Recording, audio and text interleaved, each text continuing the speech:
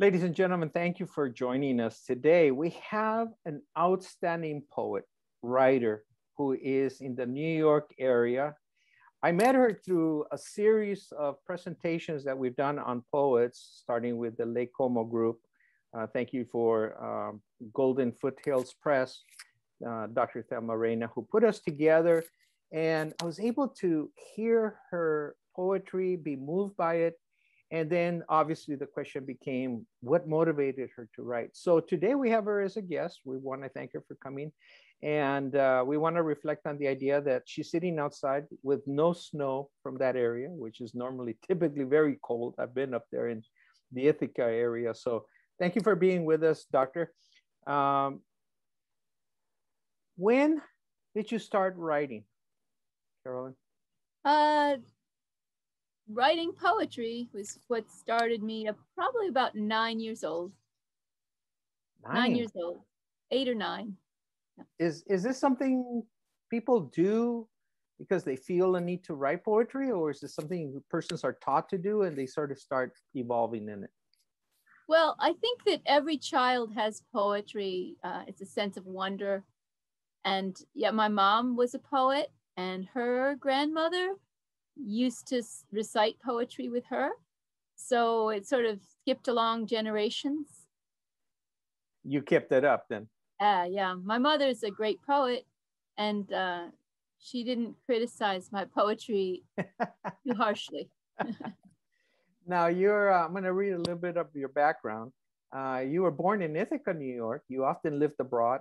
You studied classics in Cornell, Brown, and John Hopkins and you have a huge array of books and i'm very very honored to have a series of them which we'll talk about and i know you have some more we're going to talk about your books. The idea of being a poet um the one, one you know what usually people that i run into are always thinking about my job you know what kind of a job am i going to have or something. And i've never thought of the idea of a person saying i'm a poet is that a, a career? Is that a hobby or is that sort of something one does in between? How, how does that all mesh together? That's great. It's a great subject of comedy too. I can't remember the name of the movie, you might remember, but there was a cocktail party and someone introduced herself as a poet. And they said, What? And they said, No, really, I am. I'm a poet. Uh, the woman was, you know, obviously a well known poet to somebody, but uh, nobody thinks that's possible. But all poetry means, it goes back to the Greek word poesis. Poesis means to make. So I'm a maker. Uh, I make things. And instead of making quilts or music, I try to make poetry. Um, that's what we do. And I don't try to make a living at it. So most what? people who are poets um, understand the urge to make is a creative gift. Uh, so we go for it uh, when we can. I remember once being with a session with high school students, and I said, you know, are anybody here poets? They said no. I was teaching uh, political science at the time, and uh, I shared. I said, you know, does anybody here listen to poetry? And everybody looked at each other. Says no. It's sort of a strange face.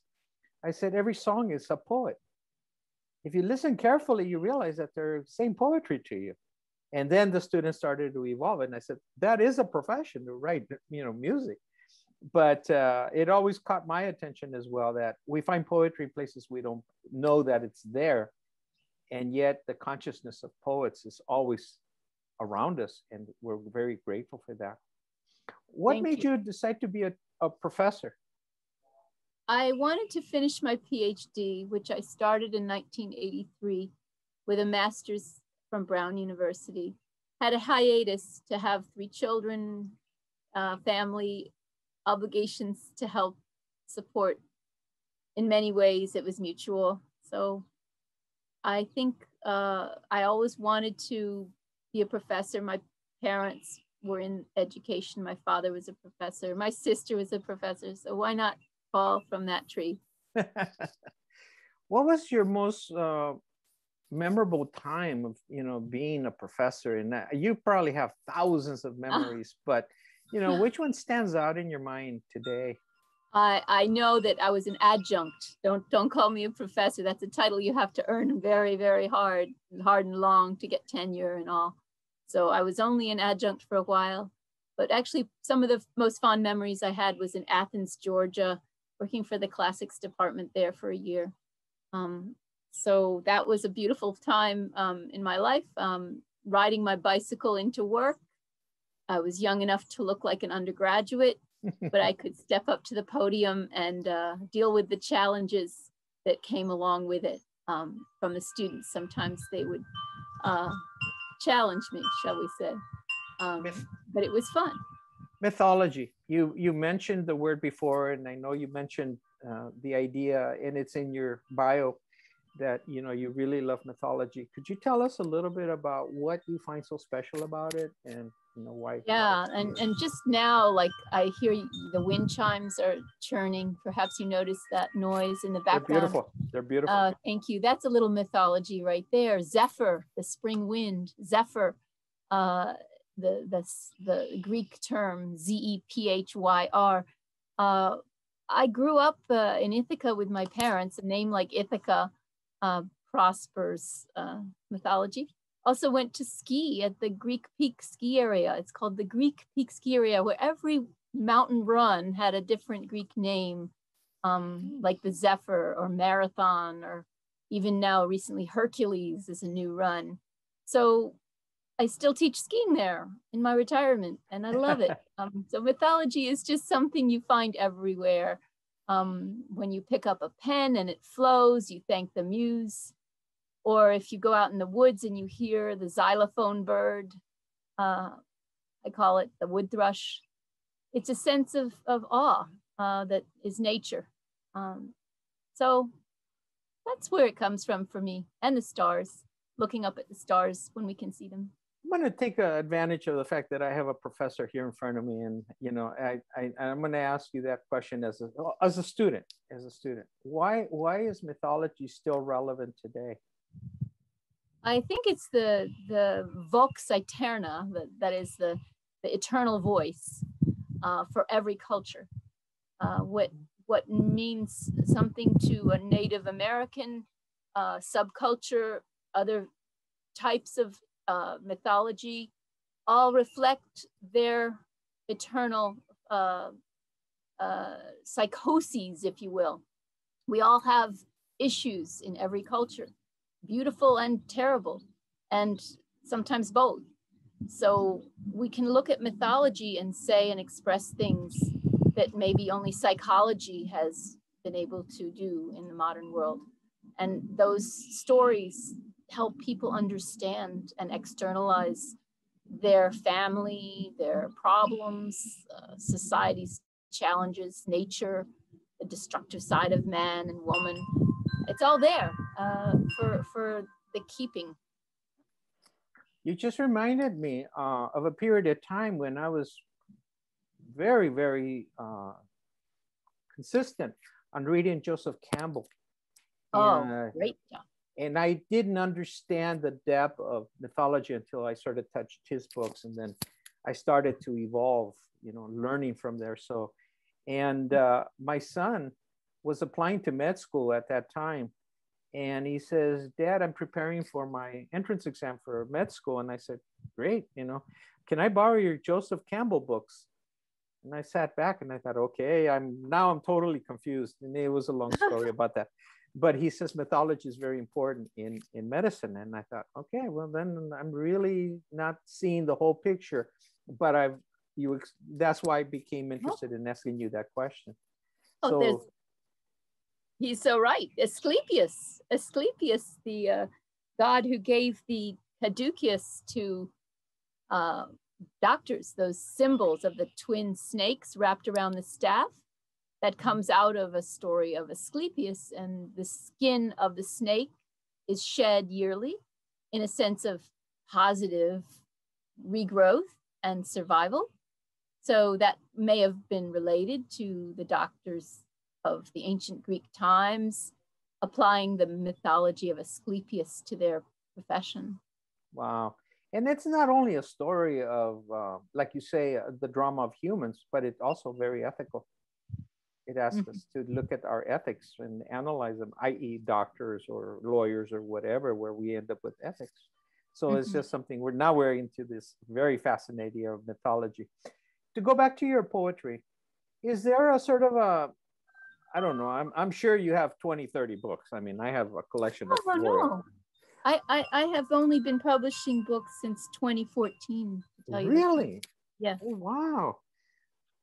Do you find that there's a common theme amongst all of them, or is there certain major themes that sort of keep crossing your path over and over? Again? I, I think me, the word would be me.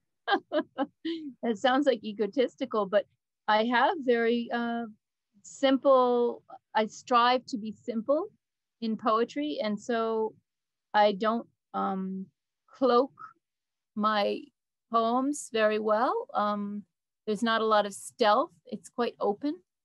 So it should be an easy read. I want to make it accessible. So all my poems should be accessible to people of all ages. Is there a readers is, of all experience levels? Is there a common theme you want to get across through your poetry?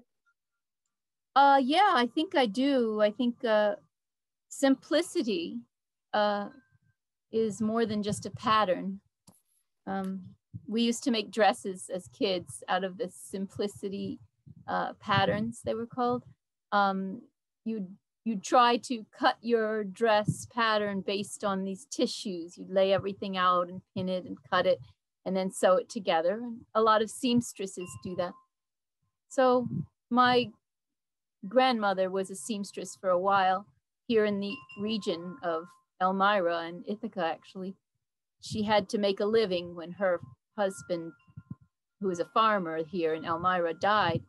I learned all this simple, simple stuff, um, knitting, uh, sewing, all the things that I had to do young as simple tasks. And that's what poetry should be too.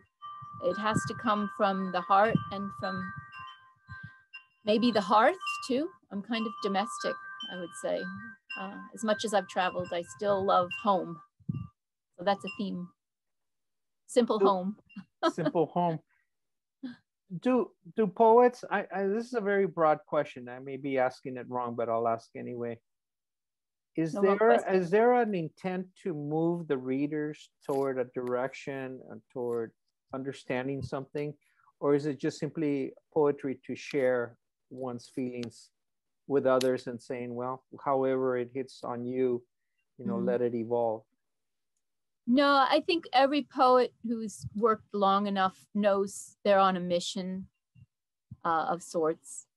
Uh, a mission not to make someone see the world that y- you see the same way, but a mission to to instill empathy and hope. Um, as much as people say, oh, sometimes poetry is just therapy, I don't use it that way because I don't want to share every one of my darkest moments. I figure there's plenty of that to go around. So I do have the kind of thing of like not to be Pollyannish, which is overly optimistic, but I do believe most my poems reflect a resilience that we all need to tap in ourselves as adapting to life and uh, keeping hopeful. Tell us about your books. Share a little bit oh, about them. Well, you know, they all kind of had a birthing order. So I'll just tell you briefly. The two that I have here that I, I've used in readings, um, and I might read one today, is Mnemosyne and Choose Lethe. Manas- Mnemosyne means, oh, hey, look at that. Hey. so they are fin- finishing line press uh, chapbooks. And uh, they are really um, twins in a sense that one was 2014 and one was actually 2013, December. And uh, the other was uh, 2017. But there were bookends, actually bookends more than twins. um, but they both choose uh, mythology as their vehicle. Then before that, I had this poem uh, book that I'm probably going to do more with. This is a manuscript called Amish Mimesis, which means imitation. uh, but it's the ancient Greek word for imitating. It's a theory of, of poetry and of making and doing. To copy uh, is to, to praise in its greatest sense. So when we built our home, I wrote this book with photographs to show the different stages of the, the build. The Amish did not want me to film or take photos. So I made sure I didn't put them in the photos um, unless they just happened to be on the roof or something like that. I think there's one that shows them. It's a black and white, but it's really helpful because it opened up a whole new world for me. This manuscript uh, was more than just a house build. So I'd like to turn it into a real book as part of the one I'm working on now. I've had two years to write poems that are unpublished I'm savoring them and then I'm going to reweave them with this little manuscript that my local friend Judy Swan, another poet, helped me to produce. It was produced on a Xerox machine oh, at wow. uh, Cornell. Uh, so it's not really officially published, has no ISBN number. Mm. So it would likely be, it's called the espresso machine and it would be an adventure to, to bring it together. I like that term. yeah. The, the one I want to talk about most, though, is Newfoundland with Cayuga Lakes books. And that's the one uh, that you have too. I, yes, I made yes. sure that you would enjoy reading that. Excellent. the collection. Mm-hmm. Yeah, that's the collection that um, thankfully Judy and Peter Fortunato and others have written on the back. Um, my friends from Maryland uh, recognized this was my life work uh, that had kept under a basket. Uh, light that you put under a basket usually lights on fire. And there's a testament that says, don't put your light under a basket. That's from the New Testament somewhere. Mm. So I learned at the time that I'd been holding back my poetry for a lifetime. When I retired, it all came pouring out, and that's where I started publishing. So this is an independent press, but it's got a great website and a little bit about me there. So that's the one Cayuga Lake Books I'm very grateful for. Um, most recently, the last I'll talk about is the Poet Duet. Thank you. Poet Duet uh, comes straight from my mom and me weaving together in her latest years. Um, she was in her 90s. Together, the poems of her lifetime and mine. I chose them to make them reflect a mother and daughter tangentially.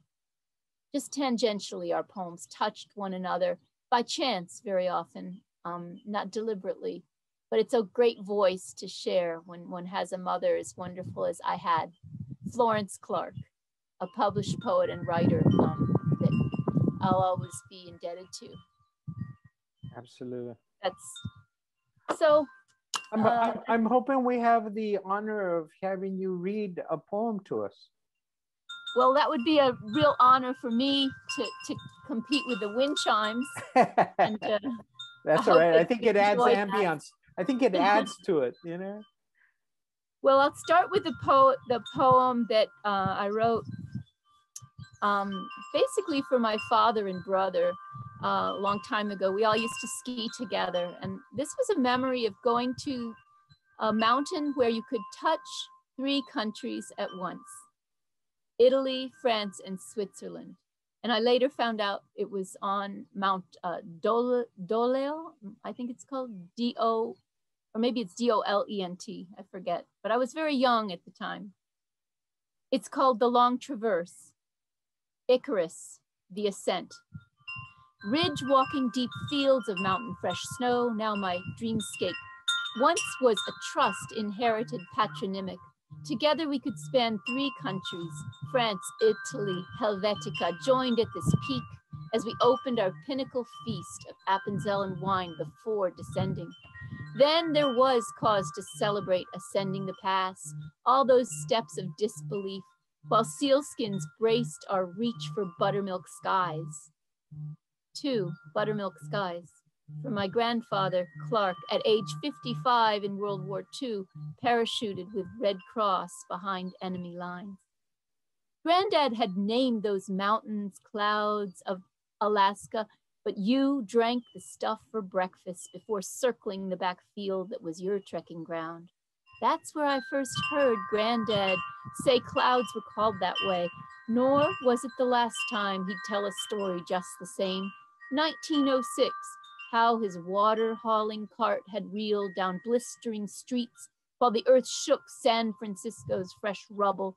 Steel frames were all that withstood that ordeal, all that the fires could not lick, and horse sweat trickled off his reins, while a man offered water to the injured exiles who circled for days like Eskimo dogs. Three, Daedalus, the descent. For dad, who taught us balance and downhill ski till age 91. Such a long traverse it was, this upward grazing on frostbit rock, an inroad into a wilderness of understanding.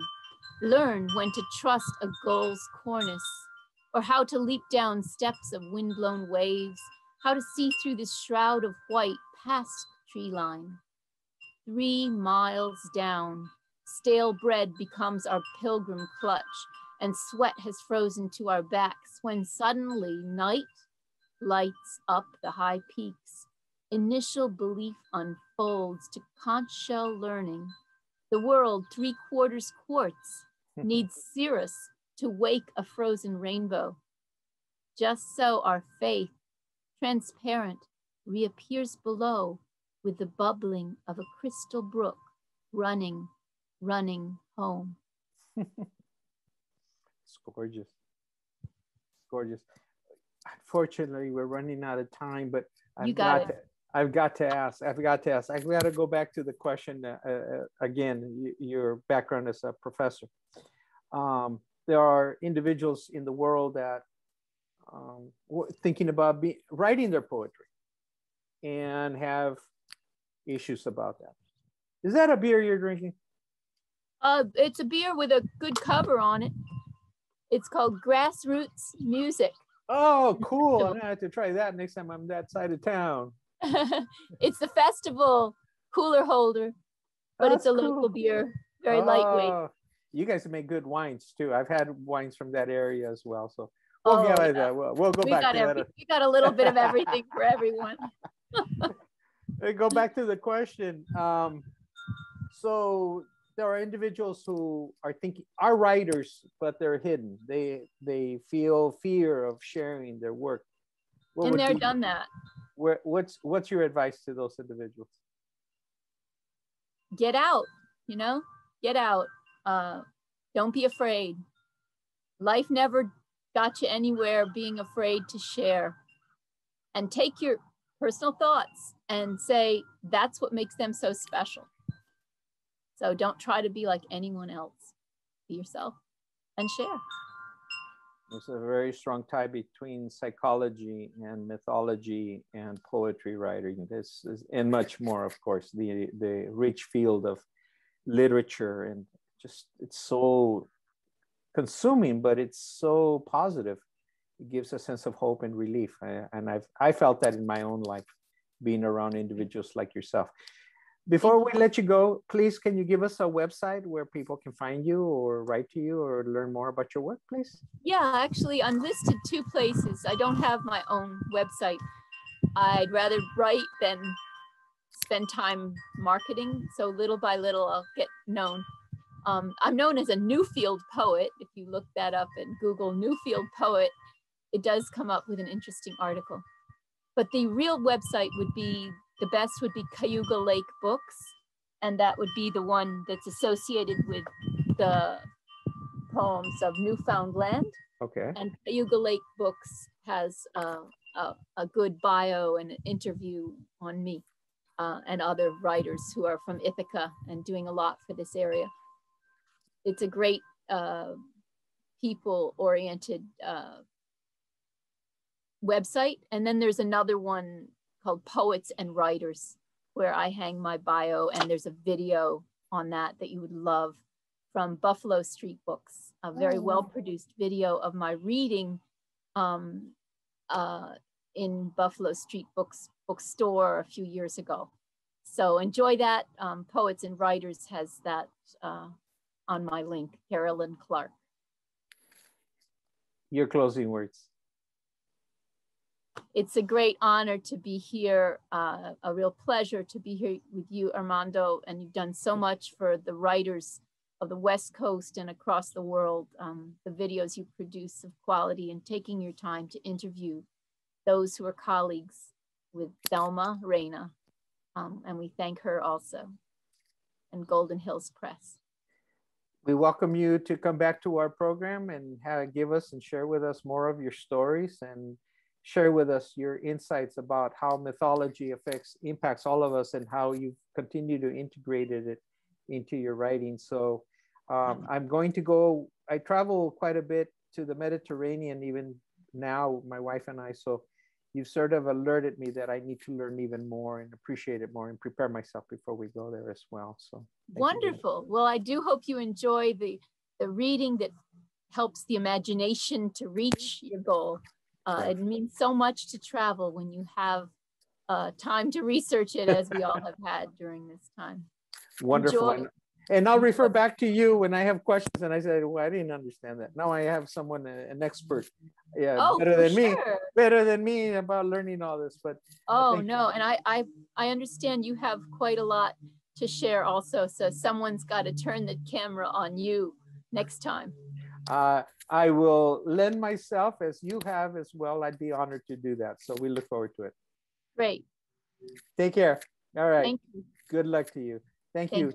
Ladies and gentlemen, we've been talking to Dr. Carolyn Clark, who uh, alerts us that poetry is not just something on a book. It stimulates our creativity, our mind. It gives us a sense of hope.